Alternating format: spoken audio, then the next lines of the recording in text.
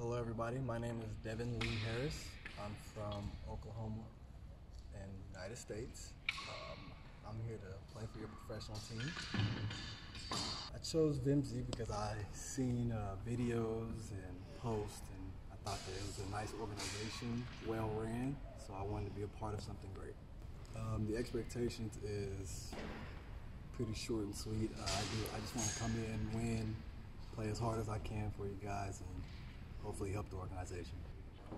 Yes, I can cook.